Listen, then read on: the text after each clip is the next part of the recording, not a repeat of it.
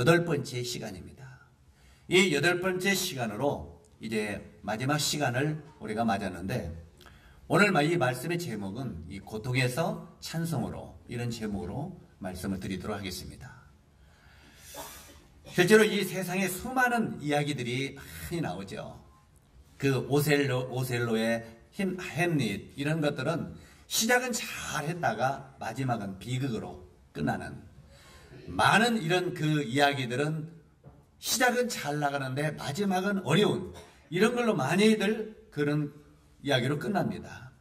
이렇게 잘 나가다 나중에는 슬픈 사이로 끝나는 것들이 많은데 우리가 이 공부했던 루키서는 고통으로 시작해서 이제는 아름답게 끝을 맺는 이런 이야기가 바로 이 루키서 이야기입니다.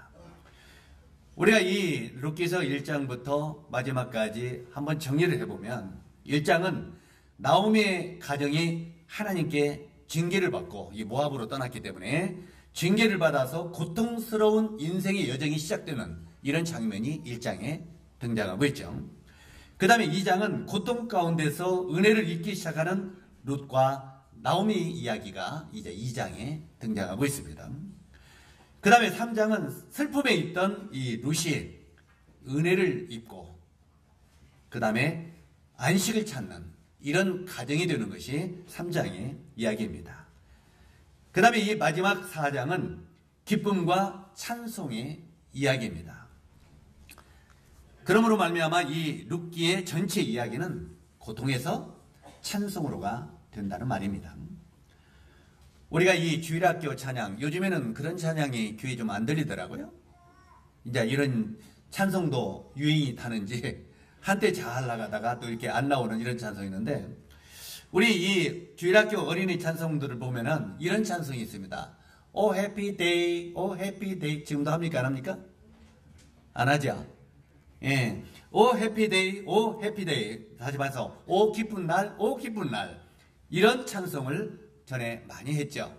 근데 그런 찬송들이 많이 주일학교에게도 불려지는 게 좋다고 생각을 해요. 그래야 바로 우리의 어려움을 나중에 그리스도 안에서 승화시킬 수 있다고 하는 그런 찬송이 되기 때문에 그렇습니다. 이렇게 주일학교 찬송에도 oh happy day 이런 기쁜 날을 찬송하는데 이 룻기서는 해피 엔딩의 이야기입니다. 기쁜 날의 이야기죠. 그래서 이 해피 엔딩, 기쁜 결말의 이야기인데 루키서 1장을 보면 다시 반복합니다만 장례식으로 시작합니다. 바로 이 엘리멜렉이 그 아내 나오미와 함께 두 아들을 데리고 모압 땅으로 넘어가죠. 우리가 지난번에 공부한 것처럼 모압은 이스라엘의 적군의 나라라고 말씀을 드렸습니다. 그런데 이 그들이 어디에서 살았냐면 이스라엘 베들렘에 사셨죠. 살았죠. 이 베들렘이라는 뜻은 무슨 뜻이라고 했습니까? 베들렘이라는 뜻이 떡집이라는 뜻이죠. 오늘 떡이 나올라면 모르겠습니다만. 이제 이 떡집이라는 뜻입니다. 그런데 이 떡집이라는 의미를 가지고 있는 베들렘에 살던 엘리멜렉이 그 베들렘에 흉년이 왔어요. 사람이 살다 보면 우리에게 흉년이 찾아오는 때가 많잖아요. 영적으로, 육적으로 기갈이 찾아오는 때가 많습니다. 그런데 이 베들렘 떡집에 흉년이 찾아오니까 그 엘리멜렉, 엘리멜렉의 뜻이 무슨 뜻이라고 그랬습니까? 하나님은 나의 왕이시다. 이런 뜻이에요. 그러니까 하나님을 왕으로 섬기던 엘리멜렉이 왕 되신 하나님 앞에 엎드려야 될 거 아니겠습니까? 하나님, 왜 이 베들렘에 흉년이 왔습니까? 왜 우리 가정에 흉년이 왔습니까? 왜 우리 가정이 이렇게 어려움이 찾아왔습니까? 하나님, 어떻게 하면 좋겠습니까? 주님이 뭐 나에게 이걸 통해서 뭘 가르치기를 원하십니까? 이렇게 주님 앞에 엎드리는 것이 바른 신앙인의 자세죠. 그런데 엘리멜렉은 어떻게 했습니까? 아, 이 땅에 베들레헴의 흉년이 오니까 여기 살기 싫다 하고 모압으로 떠났습니다. 이 모압은 이스라엘을 무척 어렵게 하는 적군의 나라입니다. 그런데 그 땅이 조금 괜찮다고 생각하니까 그 땅에는 조금 행복이 있을 것 같고 평안이 있을 것 같으니까 기근이 있는 베들렘을 떠나서 모압으로 이사를 갑니다. 이게 엘리멜렉의 이야기입니다. 그런데 베들레헴 떡집을 떠나서 모압으로 가는 엘리멜렉과 그 가족들이 거기 가서 행복을 찾았습니까? 뭘 얻었습니까? 완전히 초상집이 되어버렸습니다. 다시 말해서 하나님이 거하게 하시는 베델렘을 떠나서 우상을 숭배하는 모압으로 떠났을 때 그 땅에 하나님의 징계가 시작됐다는 것입니다. 그래서 이제 이 모압 땅에 떠나갔던 엘리멜렉이 두 아들 기론과 말론 이 두 아들이 거기서 죽었습니다.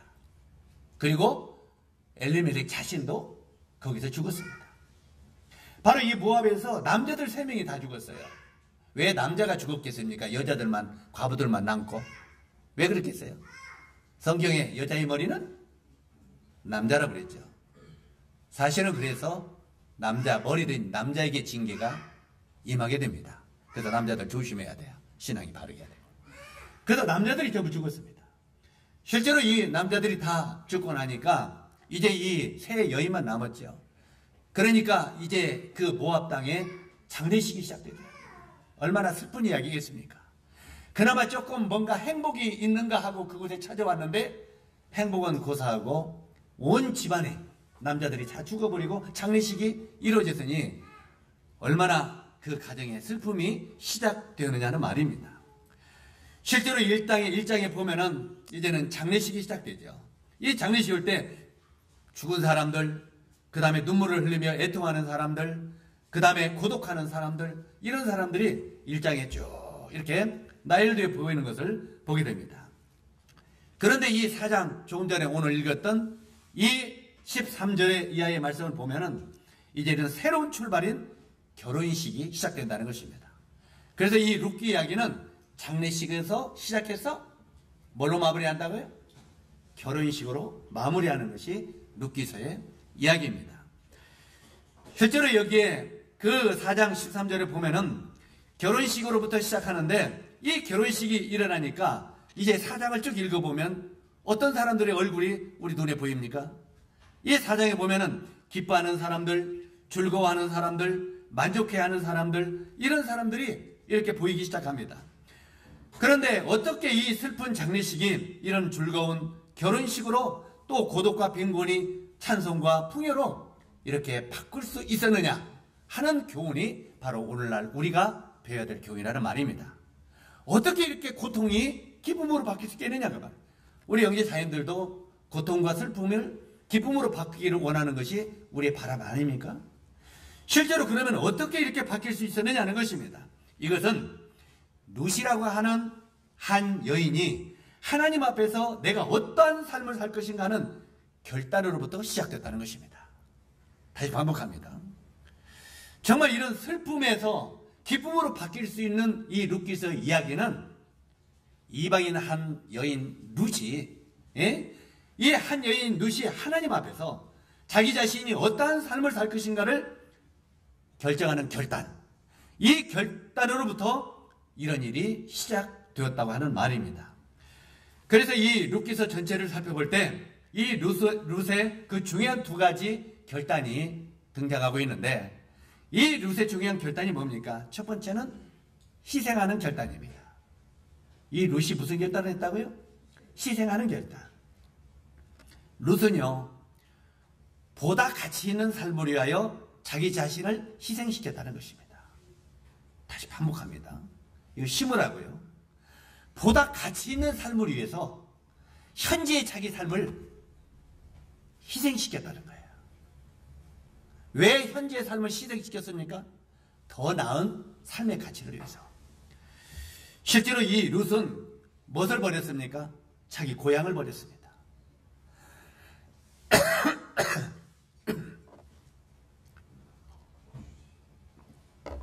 룻은 자기 고향을 버렸고 어떻게 보면 자신의 미래도 포기한 사람입니다.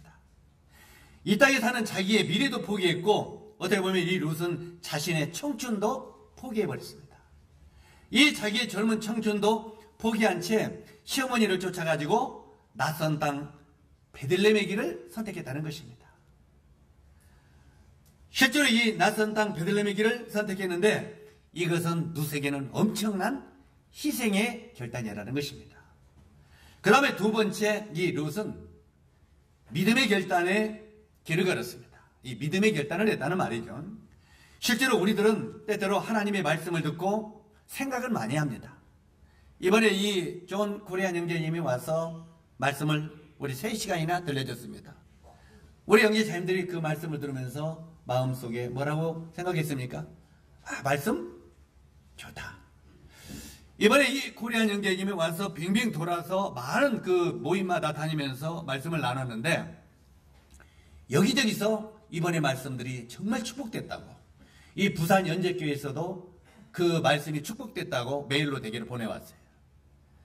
그리고 이제 성기여섭 형제가 통역을 하는데 경기도 장로 형 모임에 장로 일꾼들의 모임에서 그 말씀을 전했는데 그것도 너무나 축복됐다고 해서 그것도 보내왔어요. 실제로 가는 곳마다 많은 축복된 말씀이 들려졌던 것 같습니다. 인도에서 말씀이 너무 좋았다고 장세의 경제가 원화집에 또 보내왔어요. 그래서 이제 이런 것들을 지금 왜 그러냐면 다 모아가지고 GNTV에서 글이 좀 보내달라고 해서 이런 메시지, 이 동영상들을 모아서 지금 GNTV로 보내려고 합니다.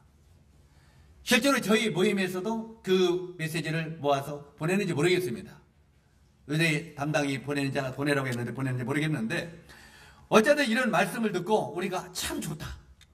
정말 말씀이 도저히 된다. 하는 생각은 많이 합니다. 그래 안 그래요? 아 말씀 좋다는 말을 하는데 이 말씀을 듣고 이것을 우리가 삶에 내가 이렇게 결단을 해야겠다는 결단을 안 한다 그 말입니다. 우리가 이 신앙생활에 왜 변화가 없습니까? 말씀을 듣는 것만으로는 변화가 없습니다. 아무리 말씀 좋다, 말씀 좋다 해도 하나도 안 변하는 거예요. 왜 그렇습니까? 변화는 하나님의 말씀을 듣고 내 삶 속에 이제 이 말씀을 따라 내가 살아야 되겠다는 결단, 행동으로 옮기는 바로 이런 결단이 있을 때 이 신앙은 진보가 온다고 하는 것입니다. 실제로 여기에 말씀을 보면은 이 룻이 이런 믿음의 결단을 이렇게 했는데 이 룻은 시어머니뿐만 아니라 그가 믿는 하나님을 또 선택했습니다. 원래 이 룻은 하나님을 믿은 사람입니까? 안 믿는 사람입니까? 안 믿는 모학 사람입니다. 이방인입니다. 그런데 실제로 자기가 선택한 남편의 시어머니, 시어머니가 하나님을 믿는 사람입니다. 그죠? 우리가 보통 보면은 시어머니가 가는 길을 며느리가 쫓아가려고 합니까? 안, 가, 안 가려고 합니까? 거의 대부분 안 가려고 하죠. 시어머니하고는 나는 다른 길을 걷겠다고 하는 게 며느리들이 마음이죠. 그런데 여기 룻은 어떻습니까? 우리가 지난번에 계속 공부를 할때 룻이 고백하는 내용이 뭡니까?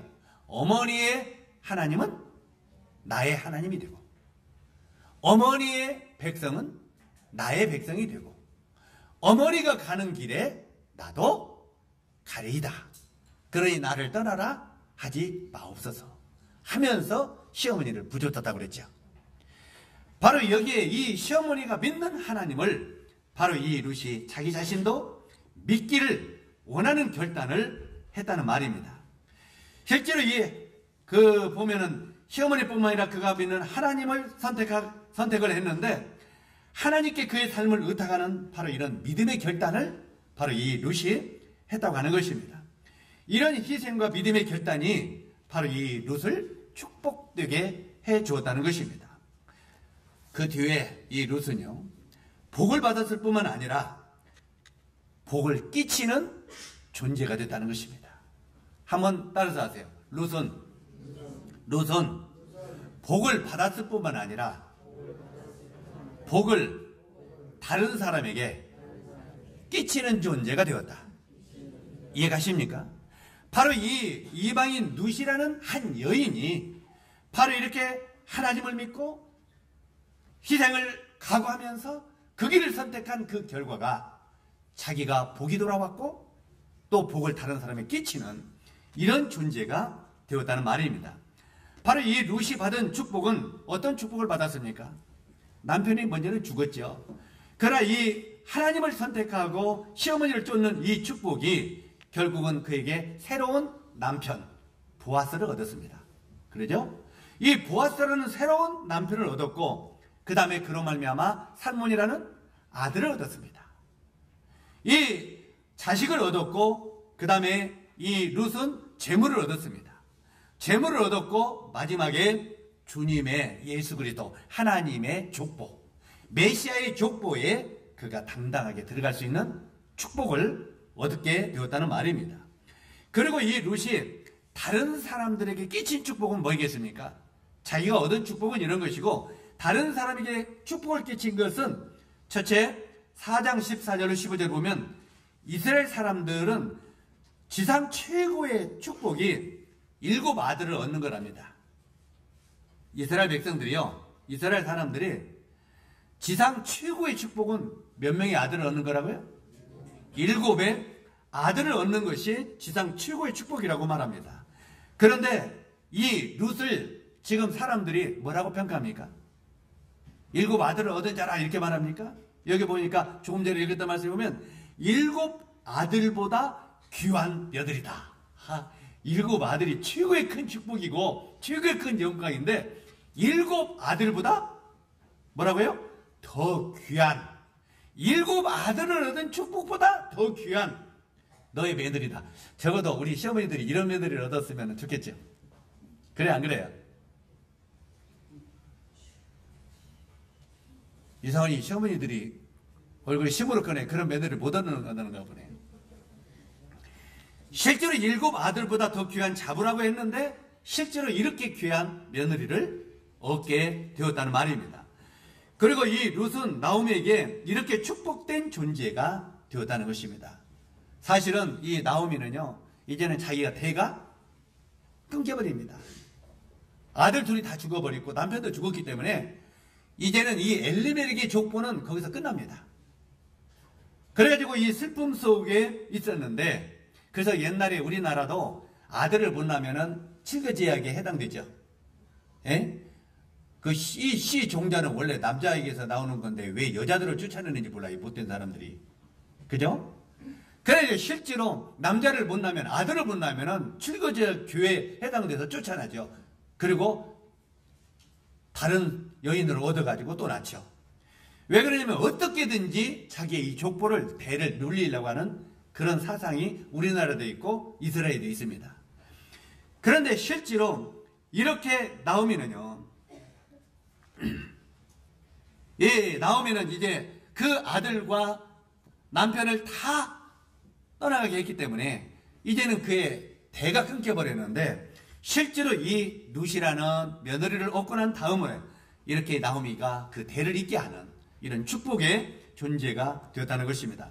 그 다음에 두 번째 4장 11절을 보면은 보아스는 이전, 이전에 그렇게 유명한 사람은 아니었습니다. 이 루시 등장하기 전에 보아스가 유명한 사람이었습니까?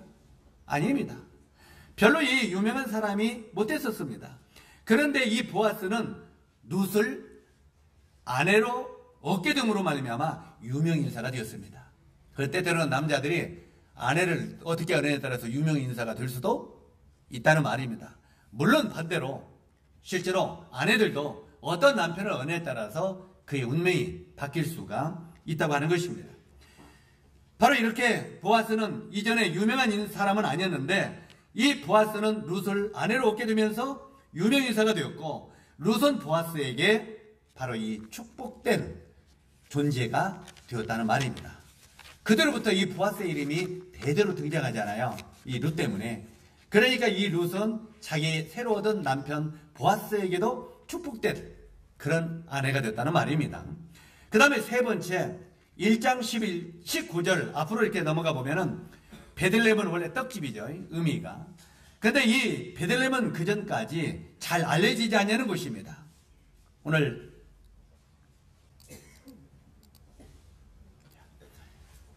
지금 아까 이야기한 것처럼 실제로 이 룻이 그 시어머니를 따라서 베들레헴으로 돌아오는 이 한 여인의 결단으로 말미암아 이런 일들이 이렇게 계속 벌어지고 있다고 하는 말입니다. 실제로 여기에 이 베들레헴도 이제 그전 그전에는 아주 작은 마을이에요. 이름이 별로 알려지지 않는 마을이었습니다. 그러나 이 룻 때문에 베들레헴은 유명한 지역이 됐다는 말입니다. 이 유명한 지역이 되고 그리스도께서 그곳에서 태어나는 영광된 마을이 됐다는 말이에요. 한 여인으로 말미암아 마을까지도 영광된 마을로 바뀌게 됐다는 말입니다. 바로 이 한 사람의 헌신과 이 믿음의 결단이 그 마을, 그 도시를 영화롭게 할 수 있다고 하는 것을 우리들에게 가르치고 있는 것입니다.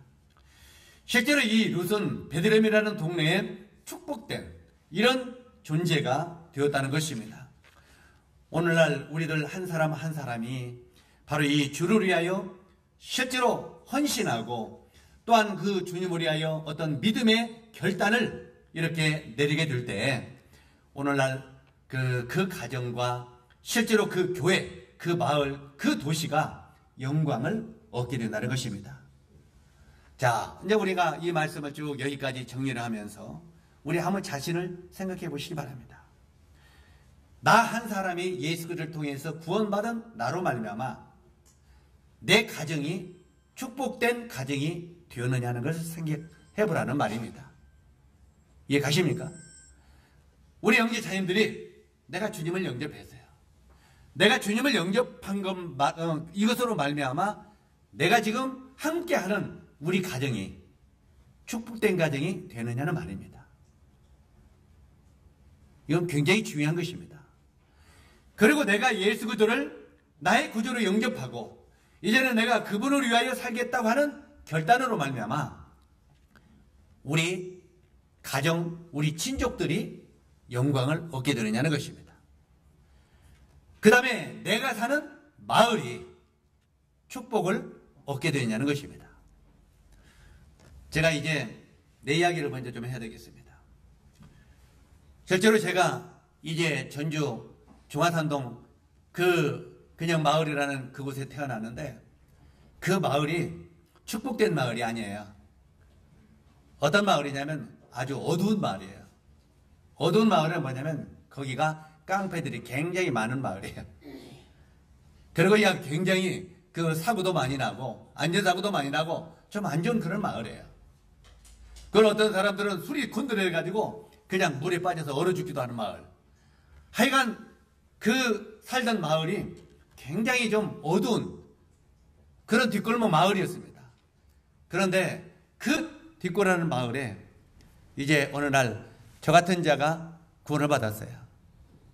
구원을 받았을 때 나중에 그 마을이 변화되기 시작했습니다.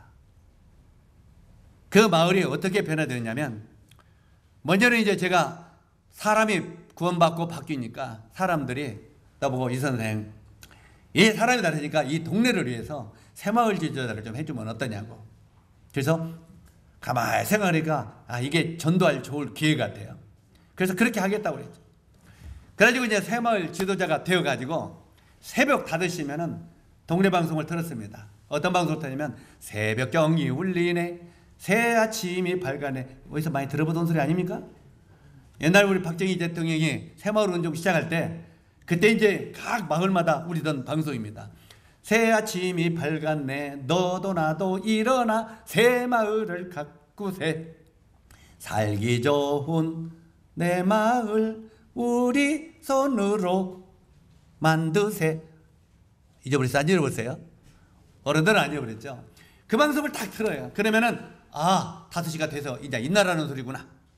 게으름 피지 말고 인나라는 소리구나. 하고 사람들이 딱 귀를 뜨고 그 방송이 들리면 인납니다. 그러면 그 뒤에 바로 5분 메시지가 딱 돌리면 친애하는 구독자 여러분 안녕하십니까? 지금부터 5분 은혜 새 아침 시간입니다. 하면서 지나는 구독자 여러분 여러분은 예수 그리스도를 어떻게 생각하십니까? 하고 이제 막 복음 방송이 막 나갑니다. 그런데도 사람들이 저한테 뭐라고 하는 사람은 없었어요. 왜냐하면 뭐라고 하면 그때 쥐어 터지니까. 어찌하든 간에 그렇게 하면서 그 한 사람의 변화와 그 한 사람이 주여 나 같은 자를 주님이 구원해 주셨으니 앞으로 내가 주와 당신의 복음을 하여 남은 생애를 드리겠습니다. 한 그 결단이 그 동네를 바꾸기 시작했다는 것입니다. 그, 그 일로 말미암아 조그만 그 일로 말미암아 점점 그 근영 마을 뒷골이라고 하는 뒷골목의 어두운 마을이 하나하나 구원받는 역사가 일어나기 시작했습니다. 지금 그 근영 마을에서 지금 구원받고 전국에 흩어져서 장로 일을 하고 있는 일꾼들이 여섯 명이나 생겨났다는 건 놀라운 일 아닙니까? 에? 전심사에 가는 일꾼들이 여섯 명이나 태어났다는 게 놀라운 거 아닙니까? 그 어두운 마을이 한 사람의 믿음과 한 사람의 주님을 향한 믿음의 결단으로 말미암아 그 마을이 변화된다는 것입니다. 저는 지금 이 룻기를 공부하면서 그냥 피상적으로 듣지 말라는 것입니다. 바로 여기 룻이라고 하는 한 여인의 신앙 고백과 그의 믿음의 결단이 바로 이 베들렘을 왈칵 뒤집어 놨다는 거예요. 그리고 바로 그 가정을 그 온 주위를 전체를 뒤집어 놨다는 거예요. 뭐가요? 여기 나오는 이 룻이 특별한 사람입니까? 아닙니다. 이 이방인 모압 땅에 사는 한 작은 여인이었어요. 그런데 그 작은 여인이 오 하나님, 내가 지금부터 당신을 믿겠습니다. 이제 어머니가 믿는 하나님도 나도 믿겠습니다. 어머니의 백성과 나와 함께 가겠습니다. 나도 오늘부터 하나님의 자녀로 믿음의 자녀로 함께 그 길을 걷겠습니다. 이런 결단 아니겠습니까? 그리고 이루스 뭐라고 말합니까? 이제 내 모든 것은 바로 하나님을 위해서 드리겠습니다. 이런 한 여인의 믿음의 결단이 마을과 가정과 그 모든 나라를 변화시켰다는 것입니다. 실제로 우리가 적은 뒷골의 어두운 마을이었지만 한 사람이 생명이 태어나서 그가 주님을 향하여 결단할 때 그 마을이 변화된다는 것입니다. 마을만 변화되는 게 아니라 가정이 변화된다. 우리 집에 우리 아버님은 대대로 유교의 전통 집안입니다. 1년이면 제사가 12번이나 하는 이런 유교의 전통 집안이었어요. 예수와는 완전히 상극된 집안. 그런데 한 사람의 결단으로 말미암아 그 아버지가 구원받고 어머니가 구원받고 가족들이 주님 앞에 돌아오고 마을이 돌아오고 하는 이런 변화가 일어난다는 말입니다. 저는 지금 이 룻에 대한 이야기를 피상적으로만 듣지 말고 중요한 건 이 여인처럼 우리가 믿음의 결단, 희생의 결단이 우리에게 얼마나 큰 변화를 줄 수 있는가를 지금 말씀드리는 것입니다. 그것도 이 룻기를 통해서 피상적으로 보지 말고 실제로 오늘을 살고 있는 우리들이 우리 자신 내 자신이 어떻게 삶을 들여질 때 우리 주변에 변화되는가를 지금 실제로 말씀을 드리는 것입니다. 사랑하는 형제 자매 여러분, 실제로 우리들도 생명의 떡이신 예수 그리스도를 나의 구주로 영접했습니다. 자, 여기에 보면 한 가지 영적인 의미가 있는데 베들렘은 떡집이라는 의미죠.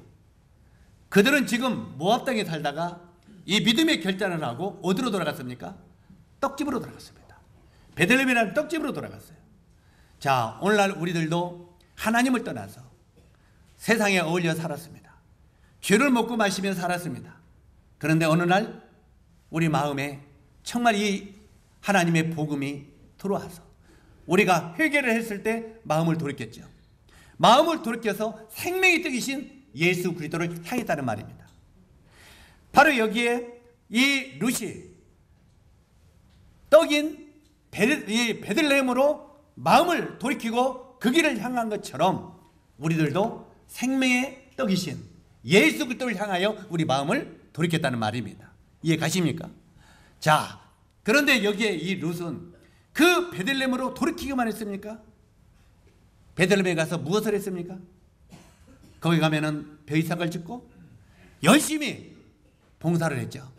그래가지고 자기 가정을 돌보고 실제로 시어머니를 돌보고 공개하는 일을 했습니다. 그 떡집에 가가지고 헌신된 봉사를 시작했다는 말입니다. 오늘날 우리들이 생명의 뜻인 예수 그리스도 앞에 돌이켜서 이제는 생명의 떡 안에 우리가 거하게 되는 것입니다. 우리 주님이 뭐라고 말했습니까? 정말 너희가 나를 믿는다면 이제는 너희가 내 안에 내가 너희 안에 거하도록 그렇게 하라고 말. 그리고 내 안에서 삶을 누리라고 말합니다.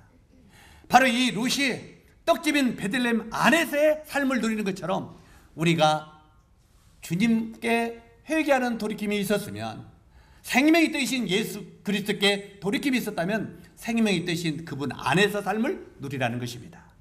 이해 가십니까?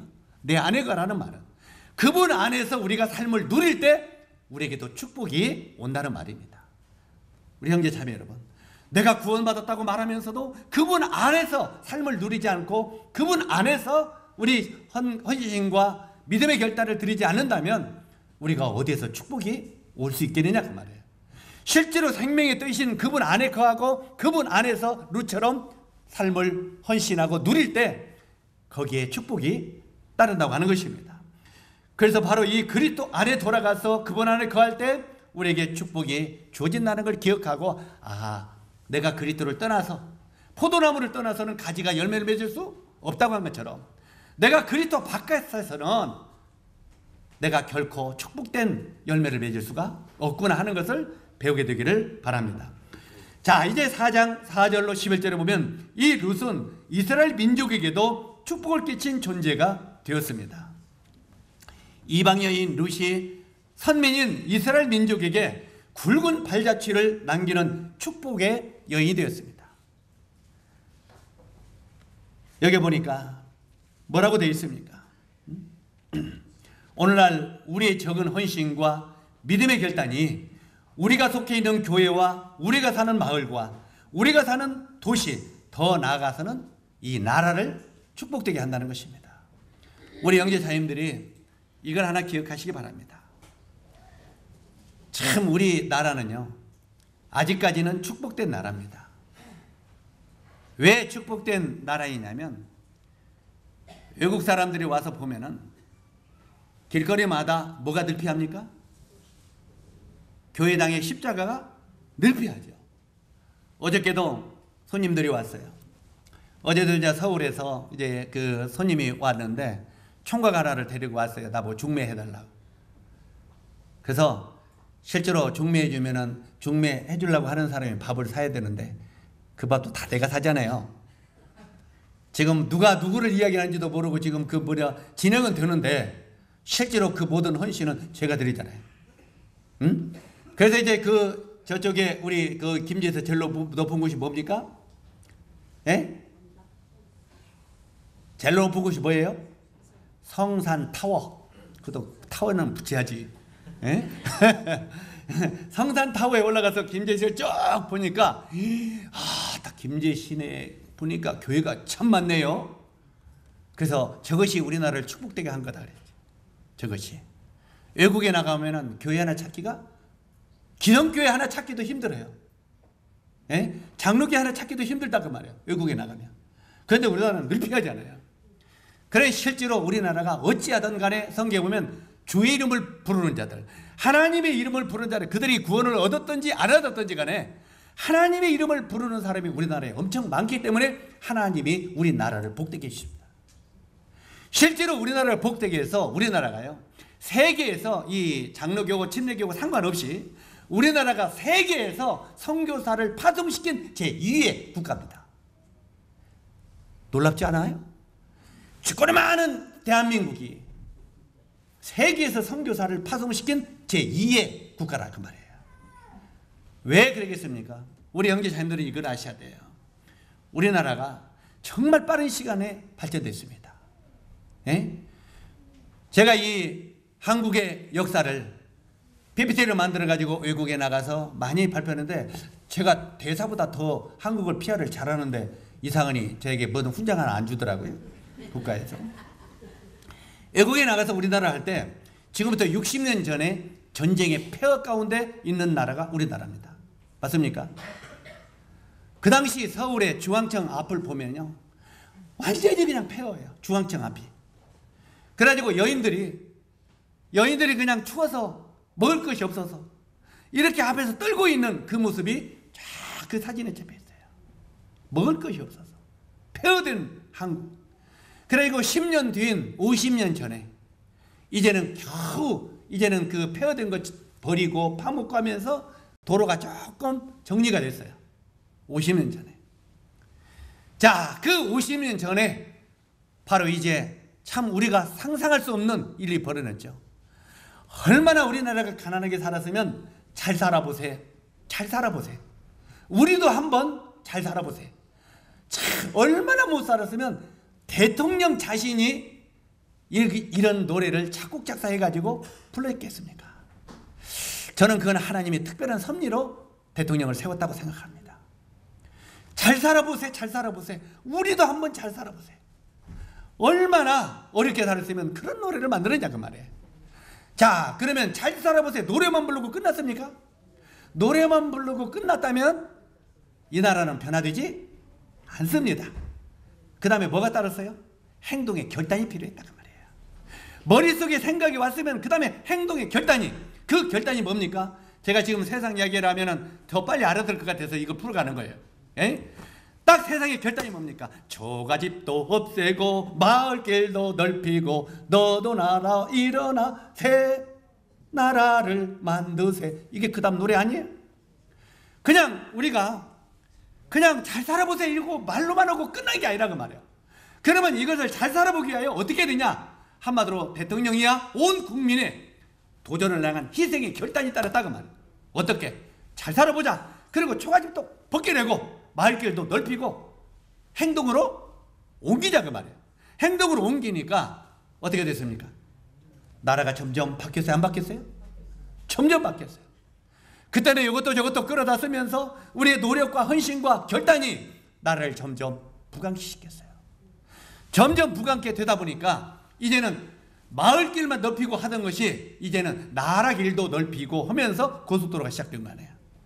옛날에 그 경부선 아니 이제 그 서울과 그 부산에 그 고속도로를 정주영 회장이 놓는데 그때 국가에서 수없이 많은 사람들이 반대했다고 합니다. 우리나라 형편의 고속도로 같은 이게 뭔 유익이 있느냐. 그러나 대통령과 그 실제로 한 정계인이 그걸 뚫지 않습니까? 그 경부선 그걸로 말미암아 한국에 새로운 변화가 있어요, 없어요? 제가 한국 대사관 얼마나 하죠? 실제로 그게 뚫리면서 그 다음부터 이제 이 고속도로가 이리저리 뚫리면서 우리나라가 급속도로 달라지기 시작했습니다. 그래 안 그래요? 급속도로 달라지면서 이제 오늘날 현재 그렇게 해서 마을집도 벗기고 새뭐 그 뭐냐 그 저 초가집도 벗기는 거 제가 PPT에다 전부 다 사진 찍어서 올렸어요. 그리고 그것이 점점 점점 점점 변화되는 거 올렸어요. 그다음에 오늘날 현대 하면서 서울의 강남이 쫙 퍼지니까 얼마나 돌아요. 끝이 안 보이는 빌딩인 숲에다가 그 다음에 러시아와 때 그냥 그 차들이 어마어마하게 지나다니기 해서 길거리가 갈 수 없는 오늘날 한국.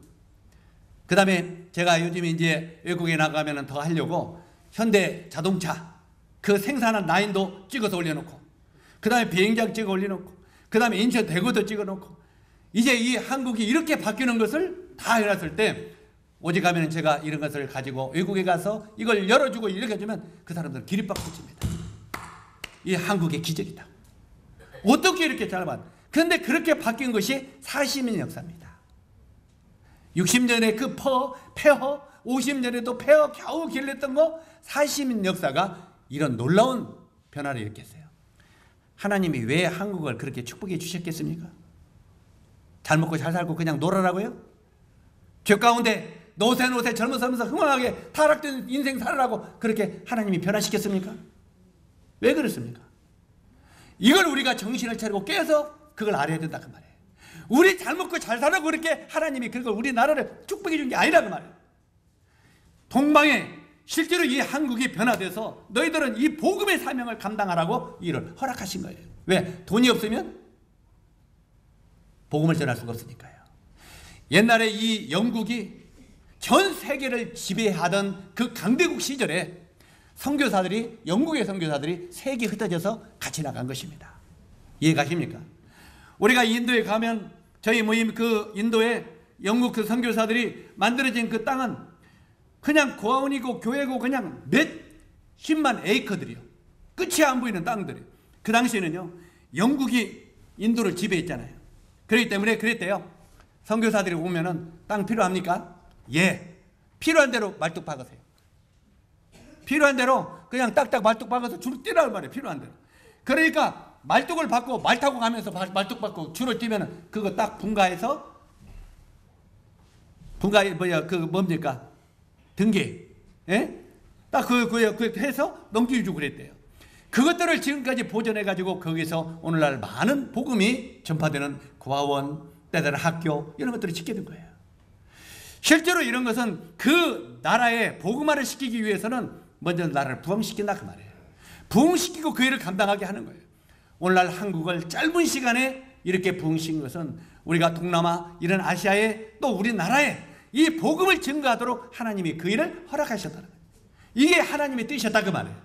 그런데 오늘날 조금 먹고 살게 되니까 이제는 우리가 점점 하나님을 떠나서 뭐하고 삽니까? 뭐하고 살아요? 그저 타락된 인생으로 그냥 세상의 것에 빠져가지고 그냥 야 여기가 조상원이 하고 살아가는 우리나라가 점점 되어가고 있다 그 말이에요. 이렇게 주와 복음을 위하여 우리 삶을 헌신이 들어지지 아니할 때 하나님은 이 땅을 더 이상 잘 살게 용납할 필요가 있어요 없어요? 없다는 말입니다. 하나님이 우리나라는 지하 자원이 있어요. 뭐가 있어요? 아무것도 없습니다. 우리나라 뭐 나오는 게 있어요 없어요? 우리나라 이 제일 자원은 뭐예요?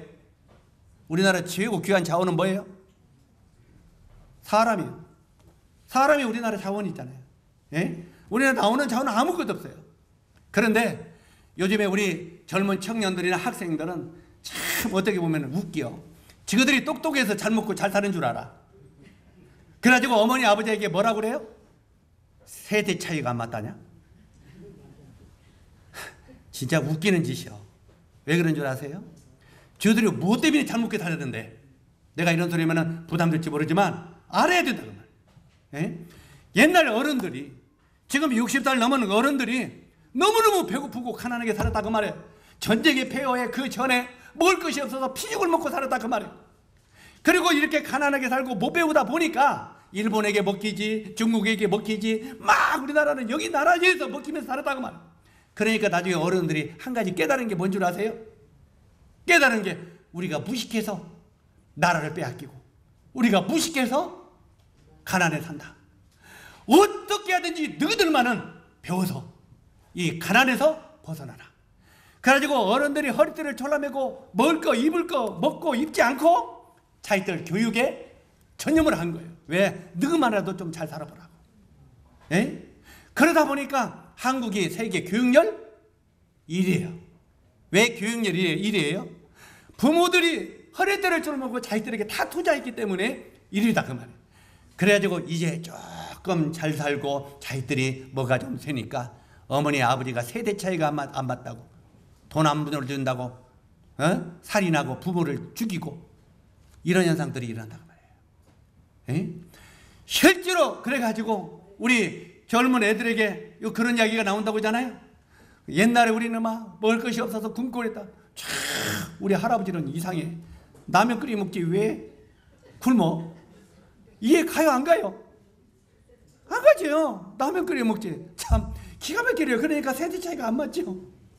그러나 오늘날 이런 것들을 모르고 그런데 우리가 이 젊은이들이 풍요를 누리게 된 것을 우리가 깨닫지 못하면 이 나라는 하루아침에 끝난다는 말이에요. 하루아침에. 실제로 이 젊은이들이 주님을 떠나서 세상에 빠져서 하나님과 등등 인생을 살면 하나님은 이 땅을 하루아침에 훅 불어버리면 이 땅은 끝나버린다 그 말이에요. 이해 가십니까? 저는 지금 한국에 정말 위기를 느끼고 있는 게 있어요. 위기를 느끼는 게 뭐냐면 3대 업종을 하지 아니하려고 하는 거예요. 교육열을 1위로 가르치다 보니까 전부 다 우리는 남녀노소가 아 노소는 아니고 노인들은 안 배웠으니까요. 요즘에 이제 남자나 여자나 전부 다 대학 안 나온 사람이 있어요 없어요? 없어요. 제가 요즘에 제일로 힘든 게 이 중매하는 거예요. 중매. 옛날에 여자들이 고등학생들이 중학생들이 늘피할 때는 중매하기 진짜 좋았어요. 야 고생하지 말고 좋은 남자만에 시집안에 가서 잘 먹고 자라라. 그러면 그래 못 가고 다 갔어. 그래 안 그래요? 근데 지금은 어때요? 지금은 이제 보니까 여자들은 300만 원 받는데 남자들은 150만 원 받아. 여자들이 똑똑해서 좋은 직장 들어가니까. 그런데 똑똑해서 좋은 직장 들어가는 게 아닙니다. 자매들 착각하면 안 돼요. 왜? 한국은 군대라는 게 있어가지고 거기 갔다 오면 공부도 못하고 그래. 그 옛날에는 군대 갔다 오면 점수를 올려주는데 지금은 그것도 안 올려줘 대모해갖고. 그러니까 남자들은 전부 다 이제 저 밑에 3대 업종 쪽으로나 가고 바로 여자들이 하니까 여자들이 볼 때 나는 300 받았는데 아, 남편은 150 받으니까 남편이 우습게 보여 안 우습게 보여 에? 그러다 보니까 이건 남편을 종 다루치었다고 말이에요 이런 식의 나라가 흘러가서는 나라의 비전은 아무것도 없다고 말이에요 그런데 어찌하든 제가 말하기를 원하는 것은 실제로 이런 모든 것들이 우리나라가 이렇게 하다 보니까 다 대학 출신이요 그러다 보니까 3대 협정은 하려고 하는 사람이 있어요? 없어요? 없다는 그 자리를 누가 맡고 있습니까? 외국인들 근로자들이. 외국인 근로자가 3대 협정을 맡고 있어요. 그런데 우리나라는 3대 협정은 우습게 여기죠? 그런데 이것이 망할 징조예요. 옛날 이스라엘 역사를 성경을 보면은 이스라엘이 강성해졌어요. 그러다 보니까 이웃 나라를 침략해서 이웃 나라 그 백성들을 종으로 잡아왔어. 그래가지고 이 이웃 나라 그 나라들의 그 사람들을 잡아다가 노예로 삼았어요. 그래가지고 노예로 3, 이 3대 협정을 전부 시켰다 그 말이에요. 거기 보면 장작 패는 일, 물 떠오는 일, 그 다음에 그 창 만드는 일, 그 말하자면 대장장이들이죠. 예? 막 이런 그 3대 협정, 막 더러운 거 이거 만지는 거, 화, 화장실 푸는 거, 이런 거 전부 다 외국인 종을 시켰어. 그러다 보니까 어느 날 이 이스라엘 백성들이 교만해졌어요. 교만해져 가지고 하나님을 떠났어요. 우상을 섬겼다 그 말이에요. 교만해지면 우상으로 섬기게 돼 있어요. 하나님을 떠나게 돼 있어요. 실제로 이 하나님을 떠나 우상을 섬기니까 하나님이 이웃 강성한 나라를 끌어다가 내 백성 이스라엘을 쳤어. 그러니까 다른 강한 나라를 쳐다가 이스라엘이 딱 치니까 이스라엘이 망해버렸어. 졌다 그 말이에요. 항상 이길 줄 알았는데 져버렸어요. 딱 그런데 전쟁을 치를 때 왜 졌느냐면 3대 협정을 맡은 전쟁이 시작되니까 3대 협정을 맡은 이분 그 노예들이 다 도망가 버렸어. 자기 나라 다 도망가 버렸다. 이게 성경의 역사입니다. 다 도망가니까 이스라엘의 고급 인력만 남은 거예요. 그런데 전쟁을 치르는데 창 만들 사람이 있어요, 없어요? 활 만들 사람이 있어요, 없어요? 자, 민박일 같이 물 떠오고 양식 날아줄 사람이 있어요, 없어요? 친구들은 아무도 없어. 다 도망가 버리고. 그러니까 전부 다 이렇게 펜대만 굴리고 앉았던 이스라엘 백성들이 하루아침에 말이에요. 적에게 완전히 망했어요. 망해가지고 이 적군에게 이제는 노예로 끌려가는 거예요. 떵떵거리고 살던 이스라엘이 노예로 끌려가. 이웃 나라에서 이 사람들을 그 이스라엘을 끌어다가 다 자기 나라에 노예로 삼았더라. 자기들이 시키던 3D 협정을 자기들이 가서 결국은 하게 됐다는 거예요. 이게 성경의 역사입니다. 하나님의 섭리고요. 지금 한국이 다이 길을 걷고 있습니다. 정말 3대 협정은 전부 다 외국인들이 하고 그러나 이 나라가요. 어느 날 만약에 일본이나 중국이나 자관 이웃 강대국들이 아니면 이북에서 한방 딱 때려서 전쟁에 힘을 내보세요. 이북에서 한방 때려서 전쟁이 딱 붙었다면 한국에 있는 근로자들은 자기 나라로 도망가 안 도망가요? 하루아침에 다 빠져 도망가는 거예요. 그러면 이 한국의 모든 경제는 올 수도 없다는 거예요. 왜요? 3대 협정 할 사람이 아무도 없기 때문에. 한국의 경제가 올수 없다면 이북을 우습게 여겨요? 이북이 하루아침에 맥혀버리는 거예요. 우리가 지금 조금 뭐 가지고 있다고 큰 소리 치지 마세요. 실제로 이런 3대 협정이 싹 빠져나가고 밑에서 해줄 그 공급이 없으면 모든 경제는 하루아침에 끝나버려요. 그리고 하루아침에 망해버리는 거예요. 자, 그러면 지금 이제 우리 한국 사람들, 참 이 한국 사람들 유정자를 들으면 좀 회개 좀 했으면 좋겠어요. 이 메시지 좀 듣고. 에? 방송에 좀 나가서 듣고 회개했으면 좋겠어요. 정신 차리고. 실제로 이 유정자들이 지금 큰 소리 치지만 하나님이 불어버리면 하루아침이다 그 말이에요. 이 나라가. 하루아침에 망해가지고 나중에 총들에서 지금 중국 사람들, 또 교포들, 또 외국인들, 방글라데시들, 한국 사람들이 우습게 여기 안 오고요. 우습게 여기에서 핍박하고 폭행하고 해요 안 해요? 나중에 그 사람들이 우리 끌어가서 폭행하고 그렇게 다룰 겁니다. 중국 우습게 여기요? 중국은 만만디 정말 큰 대국인 거예요. 실제로 우리나라가 아무리 해도 거기에 감당을 못하는 거예요. 실제로 나중에 우리는 지금 중국 사람들 우습게 해서 우리가 일시킨다고 하지만 그 사람들이 우리 끌어다가 종 삼아서 일시킨다 그러면 그런 때가 올 수 있다고만. 그는 왜 이런 일이 오느냐? 우리가 하나님을 향하여 우리 마음을 드리는 결단들이 없으면 결국은 우리나라에도 이런 일이 올 수뿐이 없다는 것입니다. 저는 오늘 이 6기서를 마무리하면서 우리 형제자님들에게 지금 그것을 이야기하고 싶은 거예요.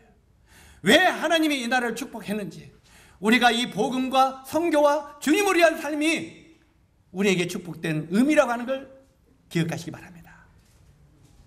만약에 우리 마음이 하나님을 떠났을 때 하나님이 이 땅을 불어버리면 하루아침에 베들레헴이 흉년이 올 수 있다는 겁니다.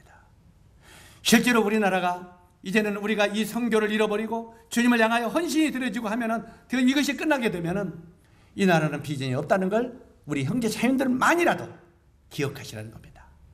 그리고 항상 우리는 주님 앞에 엎드려 기도하십시오. 하나님, 이 땅을 지켜주십시오. 우리가 주님을 향하는 결단으로 눈물로 주여 이 나라를 불쌍히 일고 지켜주십시오. 한 사람이 주님 앞에 헌신된 눈물의 기도가 이 나라를 구원시킬 수 있다는 것입니다. 이해가십니까? 한 사람의 눈물의 기도가 정말 간절한 마음의 눈물의 헌신이 이 나라를 구원시킬 수 있고 또 우리가 간절하게 우리 한 사람이 주님을 위하여 내가 이 삶을 드리겠다 또 이것을 헌신을 드리겠다 하는 이런 결단으로 말미암아 우리 가정 우리 마을 우리 이웃이 이 나라가 변화될 수 있다는 것입니다 바로 이 누시라는 가냘픈 한 여인의 믿음의 결단 희생의 결단으로 말미암아 바로 이런 놀라운 축복이 나라에까지 미치는 이런 일이 찾아온 것처럼 우리 형제 자매들도 정말 내 자신이 하나님을 떠나서 인생을 살지 말고 그분 앞에 우리 삶을 드리는 바로 이런 결단을 요구하고 있다는 걸 기억하시기 바랍니다. 바로 우리 자신의 이런 믿음의 결단이 실질의 이웃과 아, 가족이 이웃과 마을이 변화되는 바로 이 해피 엔딩의 역사는 전에도 지금도 미래도 계속되고 있다는 걸 기억하시기 바랍니다. 나 하나의 헌신을 드림으로 말미암아 해피 엔딩이 될 수 있다는 걸 기억하시고 우리 형제 자님들이 룻을 보면서 룻을 마무리하면서 아 주님 저도 이 룻처럼 바로 내 마음을 드리는 결단을 하는 자신이 되도록 도와주십시오. 그렇게 기도하십시오. 그럴 때 우리나라도 비전이 있고 바로 이 복음도 비전이 있다고 하는 걸 기억하시기 바랍니다. 기도하겠습니다.